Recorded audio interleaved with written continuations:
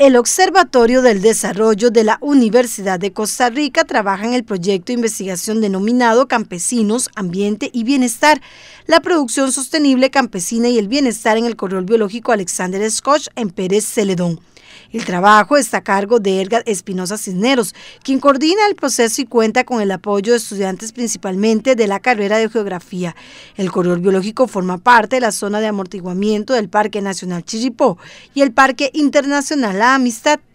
El proyecto explora las diversas estrategias de producción del sector campesino y cómo esas contribuyen al bienestar socioambiental, a la sostenibilidad y a la resiliencia de este grupo de productores de baja escala. Tratamos de estudiar un poco las estrategias de diversificación productiva, que eso incluye la parte turística, no, es solo la parte agrícola ganadera, también la parte turística, también como usted lo decía es el rol de la Universidad de York, ¿verdad? que tiene en, la, en las comunidades del, del corredor biológico.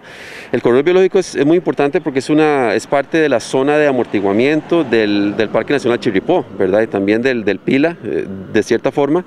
Entonces, desde el punto de vista ambiental es muy importante porque es como ese colchón, ¿verdad?, entre un área protegida y la, y la parte ya más humana, como más presencia humana. Entonces, por eso es un, es un sitio de estudio clave, ¿verdad? Y se juntan diversas, diversas cosas como ese, ese sector campesino, la Universidad de York y la presencia que tiene ahí.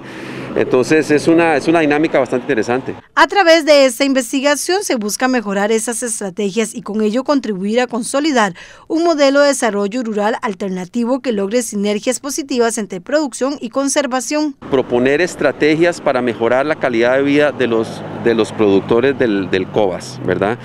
Por ejemplo, cómo acceder a ciertos mercados, cómo generar eh, encadenamientos productivos, cosas por el estilo. Entonces, al, entender, al entender mejor esa relación del campesino con la naturaleza y, ¿verdad? y cómo producen, qué les gustaría producir, etcétera, podemos idear, idear mejores estrategias, ¿verdad?, para mejorar su calidad de vida. Y eso finalmente se le entrega aquí a la Asociación de Desarrollo, a los grupos Correcto, correcto, sí, sí, sí, señora, eso es de, sí, eso se, se, va a trabajar muy de cerca con las comunidades, cuando digo comunidades es sí, los, líderes de las asociaciones de desarrollo, las, las asadas, la, la gente de la Universidad de York, por supuesto que la Universidad de Costa Rica y eso es investigación que queda ahí también para, para, para el cuerpo de literatura, ¿verdad? También, entonces es otro aporte importante.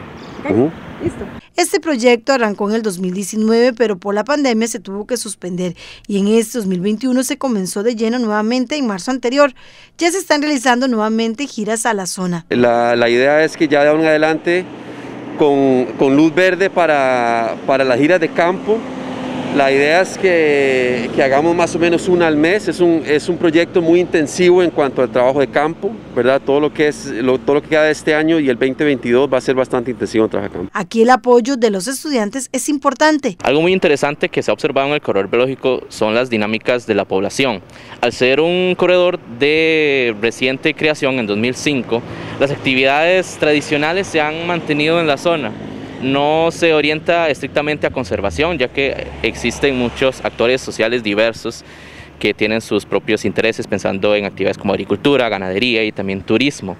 Como habitante del corredor biológico he percibido eh, que las comunidades se han integrado para poder buscar un bien común, eh, un balance entre las actividades económicas y la sostenibilidad, lo cual eh, se ha vuelto muy importante ya que otros proyectos eh, anteriores han demostrado lo importante que es eh, la mantención de los servicios ecosistémicos y de otros aspectos naturales dentro del COAS para el bien de la población. Anteriormente ya había visitado el corredor biológico en una pequeña investigación que hice con un compañero. De hecho, ahorita estoy con el mismo compañero desarrollando el proyecto de tesis ahí y junto con el profesor en el Observatorio de Desarrollo también, ayudándolo con la investigación.